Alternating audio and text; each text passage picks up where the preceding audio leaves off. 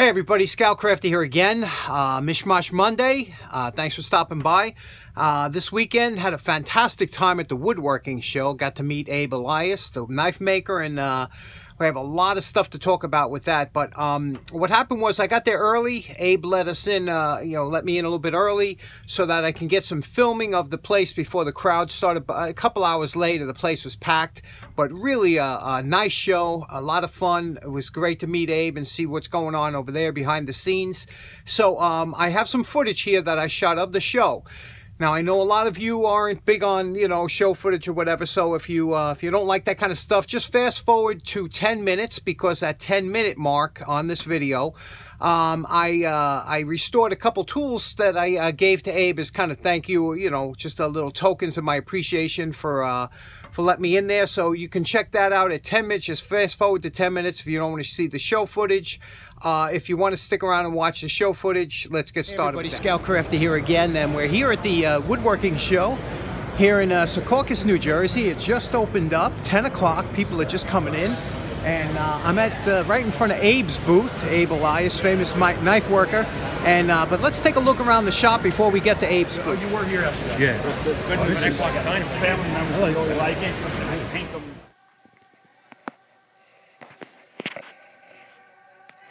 Now, one time I used to be pretty heavy into woodworking, and I, you know, we all start off by going to these shows, and I got into making pens. And uh, as you might recognize, this is Arizona Silhouette, and they, they're known for making a lot of pens and pen supplies and things like that. And the guy that I learned from was taking a seminar from Barry Gross. That's him right there. He was doing a seminar here.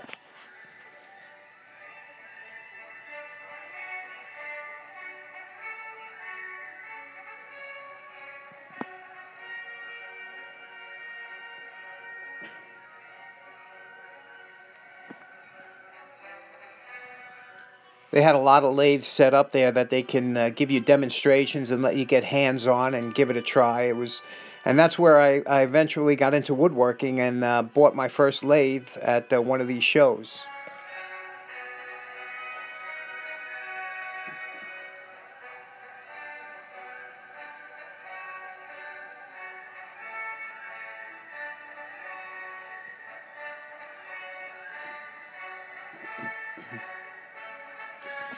You might recognize Bob. That was Bob there from uh, Jacktown, and uh, he brought all his old tools, and, and he does really good at this show, even though his prices at this show were a little bit higher than they are at Jacktown. But uh, I'll tell you, a lot of people are really interested in his area, and he, he brought a lot of woodworking tools. Bob has a ton of stuff.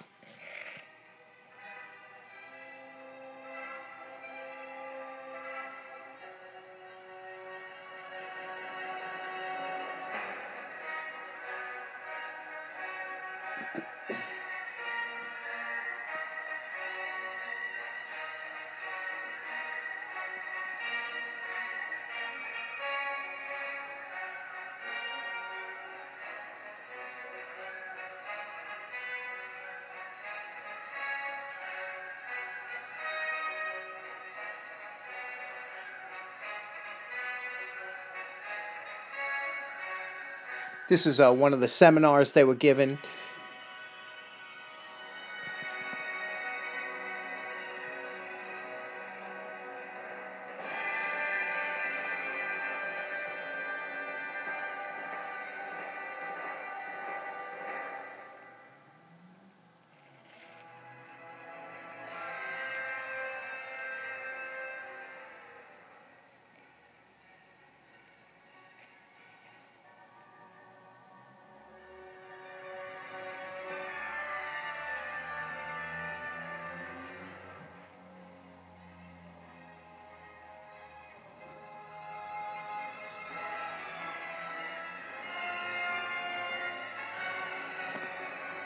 Now, one thing these shows are known for is being able to pick up some nice wood, you know, uh, unusual wood. A lot of, uh, you know, you can get your your walnut and, and slabs of uh, wood here for projects. And, and a lot of times people come here specifically to pick up different types of wood because they are uh, at a discount price and they're all available here. And one of my favorite booths is the Nova booth because uh, my most expensive and most cherished tool is my Nova lathe And uh, I loved being able to go over here and mess with the new Nova tools that they have coming out, and I'll be talking about that in a little while.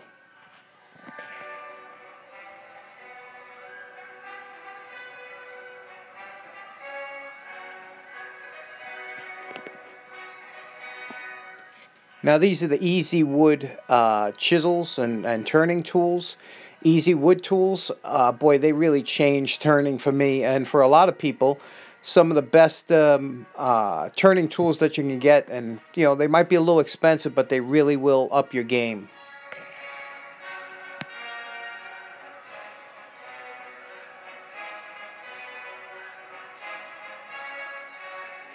Now this knife, this just blew me away. This uh, Stanley knife. I don't know if it was done by CNC or something, but just look how nice this utility knife was done. It's just beautiful.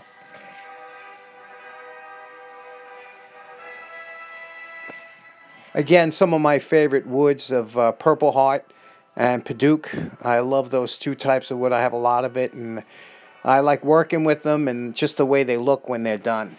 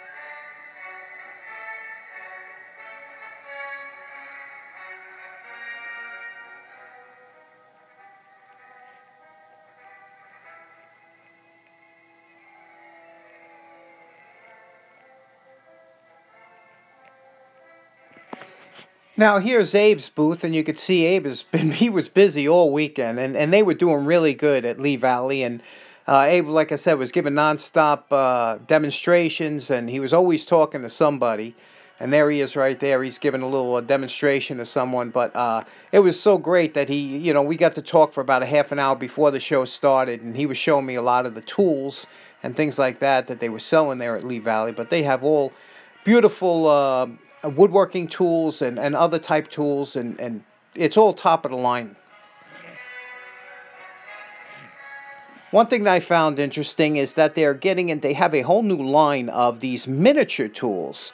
And uh, these are serious tools. They're real tools. They're, they're miniature in size, but they're made from the exact uh, materials that you would make a big tool out of. And you can see here, this is uh, no joke. It's no toy. The people actually buy these to do modeling and to make, uh, you know, small, intricate cuts. And they will work exactly like the big tools, only they're in a smaller scale. And uh, you can see here, I guess it's probably close to like 1 6 scale or something. It's really amazing. They actually make modern planes and scrapers and things like that to the same specs as, uh, as they did from years ago.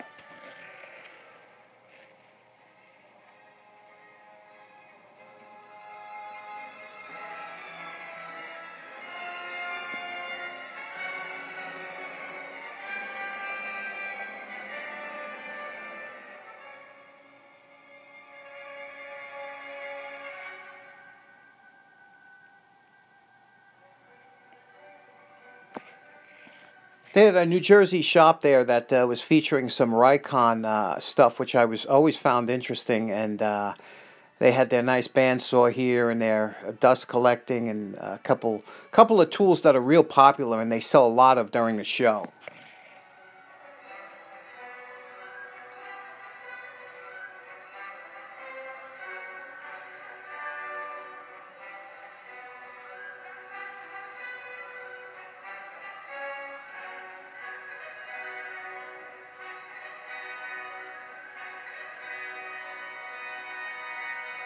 Isn't that the truth? Now, here's the uh, Nova.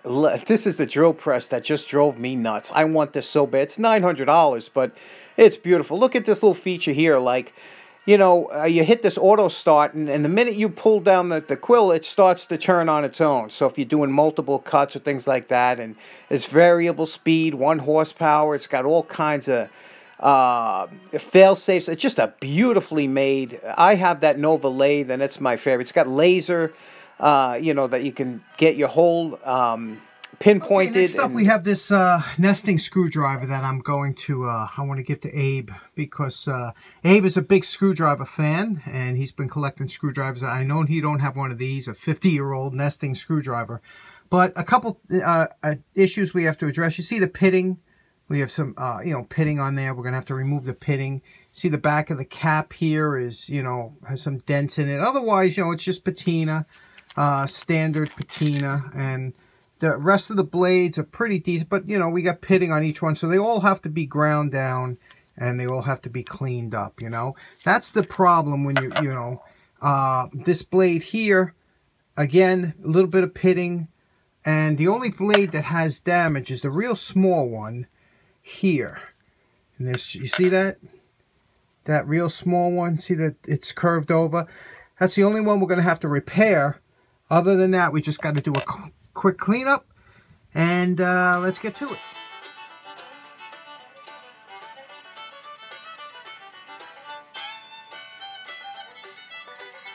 Here's the before and after patina. Sometimes you forget when you're doing it, but you can see how much that really adds to the look of the screwdriver.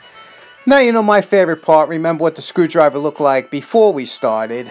Okay, well, we finished this up. Uh, the only defect we found was a slight hairline crack over here and uh, that happens sometimes and you know when my skills get better I will learn to TIG and I will be able to fix stuff like that but right now uh, this is done we uh, took look at polished this out the back you know so that's all nice got rid of all the cracks and everything and uh, and I think and the tip of this we redid you know these tips they're very hard to do because of uh, again these were more novelties than they were uh, to be used every day.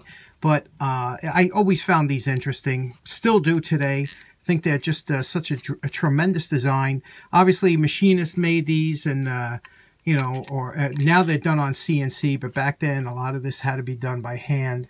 And uh, polished everything out, got the knurling all nice. And the tips are all good. This is actually a usable tip.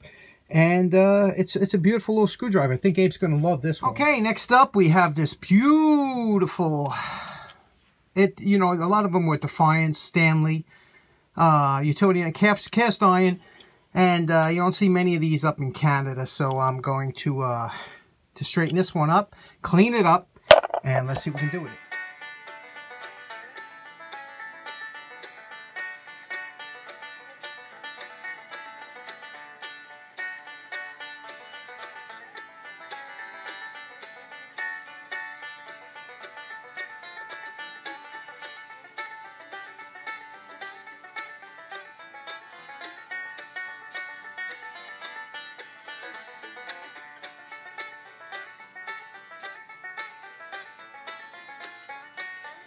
Okay, now we're just about finished with this. Now the only thing left to do is we're going to coat the inside here with shellac. This is raw cast iron. Cast iron is, you know, will rust in a heartbeat. So we're going to coat this with shellac. Then we'll uh, put it together and then we'll give it a good final waxing and everything. And, uh, and we'll see what it looks like when it's done.